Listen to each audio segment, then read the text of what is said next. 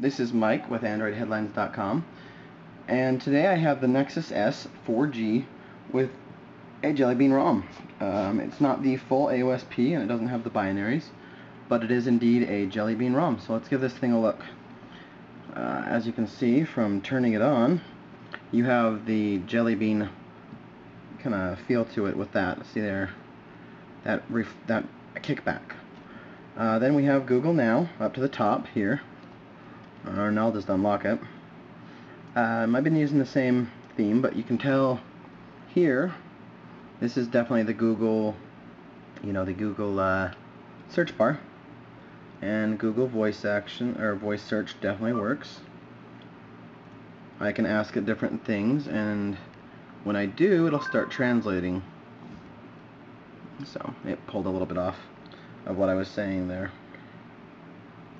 It is a little slow on the loading of this. Um, this voice actions piece was hacked in kind of last minute.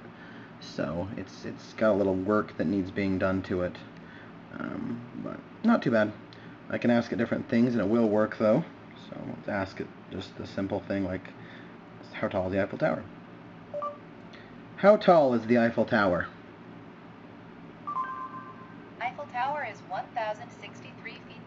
So there it displays a picture, it does its thing. You know, it works. I can also do some search and it will work. Um, but that's pretty cool.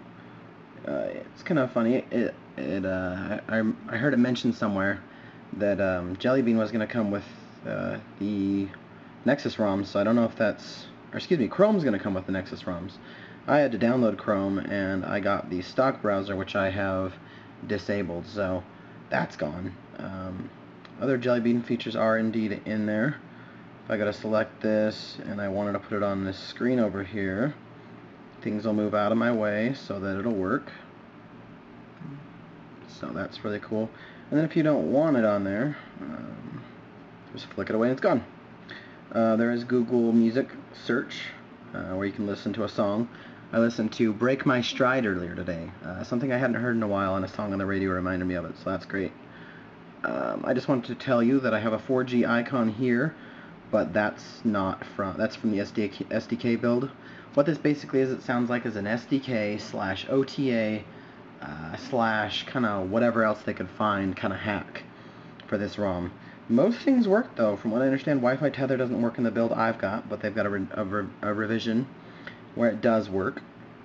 Um, a few other things kind of don't work off and on, or they're slow, like my voice search.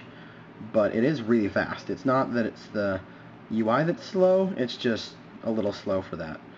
I can get it to flip as fast as I want. It just goes really smooth, really quick.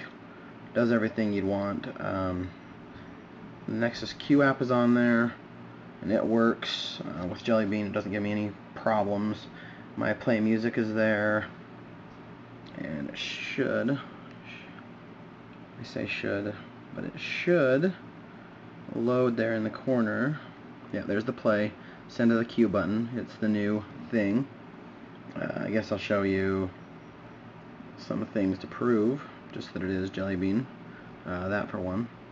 But this is another one. 4.1 Android 4.1 is on there. So that's a little bit of proof.